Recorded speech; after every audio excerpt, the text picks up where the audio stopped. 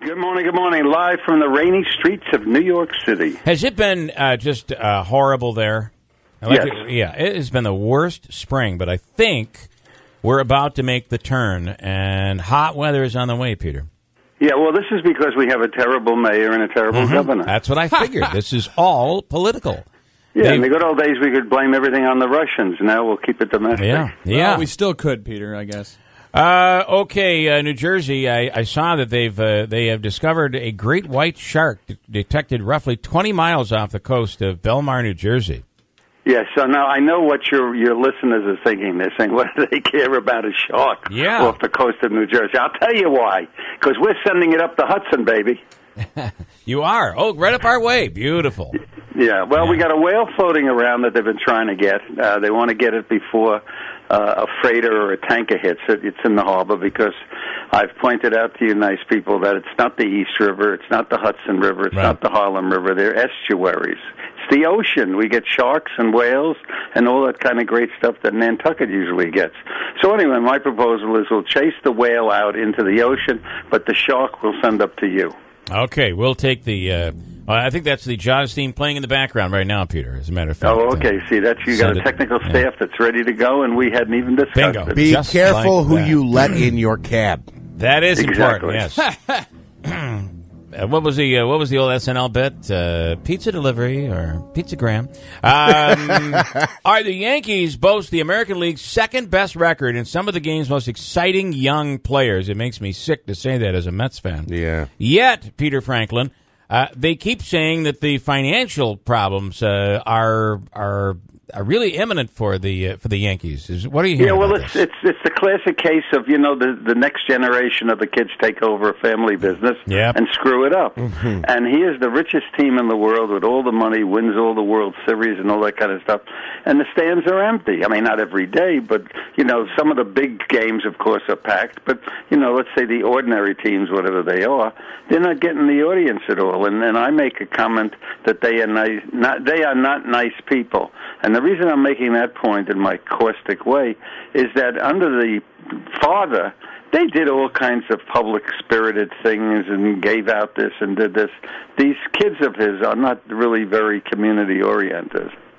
Um, boy, they spend uh, they spend a lot of money on baseball. Uh, but then again, so do the Mets, and it is not working out for us right now.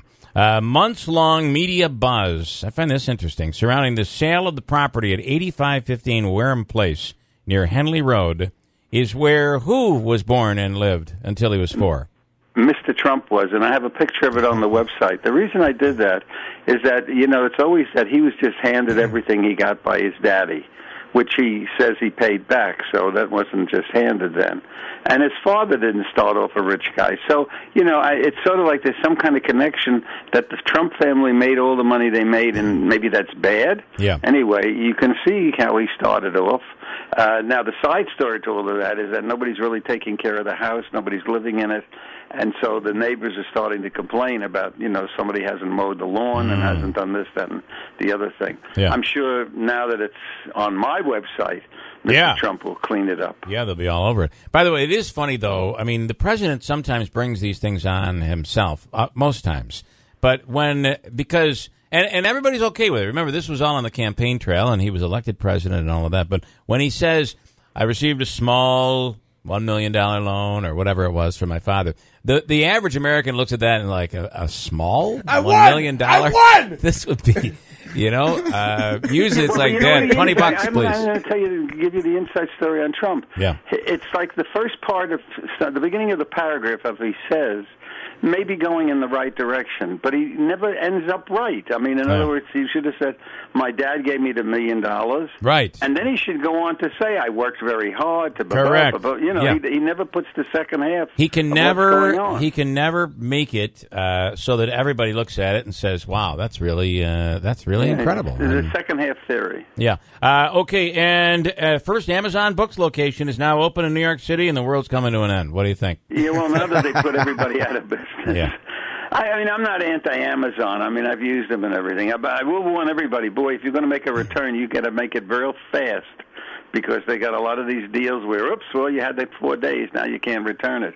But be that as it may, they're knocking everybody out of the box, and now they're starting their first store in New York Mm. City. And they're going to be doing this. an interesting development. they're gonna So do this- That's going to open in a little while, and I, Yeah. know, I know everybody's going to run over just to see it. Well, they're going to be doing this delivery. I think you're going to see that, and it's perfect for a city like New York, where they try to do. I don't know how these drones get through these buildings, all the buildings, but they're going to be delivering same day delivery. It's kind of wild. Well, but see, I'm an entrepreneur. I'm selling steel helmets. yeah, good idea. I like that. And finally, Peter, I just want you. Uh, this is off script, if you don't mind. Um, I want. I want you. We're planning a trip to uh, to New York uh, coming up soon for my daughter's birthday. Who's her? By the way, my daughter's birthday celebration usually goes on for about a month, and it'll continue. How old continue. is she? She has just turned 15. So, Are you uh, Are you nuts? yeah, serious? yeah. You don't bring a 15 year old girl to New York. There goes Peter. You think No. she's going to go home? So I just want. Uh, so advice would be: I used to be the. I always drive to New York. I love driving through the streets of New York, and I truly do. I pass the cabs, and you know, people give me dirty looks, and Peter yells at me for it. But I do want to say, taking the train down, um, it's it's. I like it. Um, I really like it a lot. So, what's your advice to people when they're coming down? Come down by train. I mean, Yeah. I- well, first of all, I love trains. I mean, I'm still playing with my kids' trains that they left in the house. I mean, that's a that's a Franklin thing. But if they're coming down, come down by train, and then what you want to do is you want to go to the neighborhoods. Manhattan is all very nice, and it's the biggest, the best, the largest, the greatest, the most wonderful. But take a subway ride out to Coney Island. Go up to the Bronx Zoo. Take the ferry boat over to Staten Island, and once you get to Staten Island, go around Staten Island. What I'm suggesting is that you do the stuff that you just don't normally Yeah. do. Yeah. You'll get a lot more out of the city. And the best tour is the one that Peter gives. It's at Gabby Well, you. dot com. Peter, thanks so much. Thank you. Bye-bye. We'll talk again next week. Peter Franklin in New York City.